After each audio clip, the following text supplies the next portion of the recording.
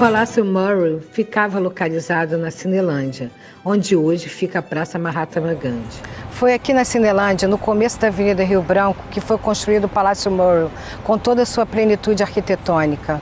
O objetivo na época do prefeito Pereira Passos era transformar o centro do Rio, avenidas e prédios inspirados na capital francesa. O Palácio Moro foi uma edificação eclética projetada por Marcelino Souza Guiar.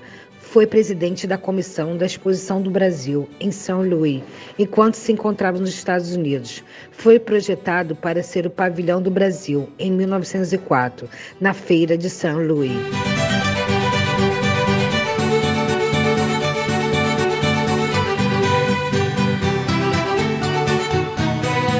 época de transição da arquitetura brasileira, ganhou o primeiro lugar o Palácio Moro na modalidade arquitetura, medalha de ouro, tudo sido muito elogiado por frequentadores e pela imprensa da época.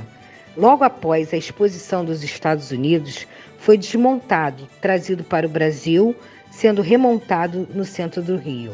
Foi inaugurado o Palácio Moro em 1906, onde foi sede da Câmara dos Deputados entre 1914 e 1922. O Palácio Moro abrigou o Senado entre 1925 a 1960. Inicialmente, o palácio era chamado de Pavilhão São Luís ou de Palácio São Luís. Foi o Barão do Rio Branco, sugerido por Joaquim Nabuco, a mudança do nome para o Palácio Morrow, em homenagem ao presidente americano James Morrow.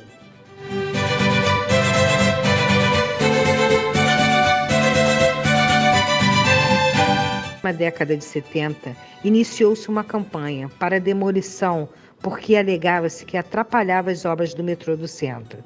Apesar de muitos protestos e mesmo podendo ser facilmente remontado em outro local, o governo federal autorizou a demolição do Palácio Moro em 1976.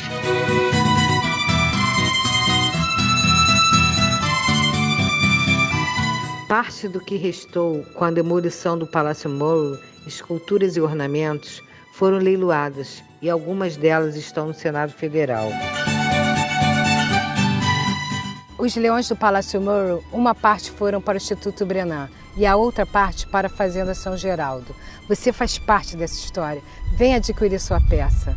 Na empresa Quinta Delarte, você encontra uma escultura do leão do Palácio Murrow, 50% tamanho original.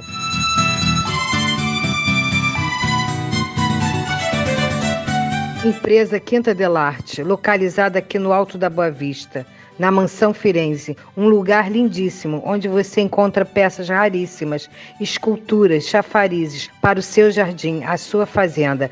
Venha conferir.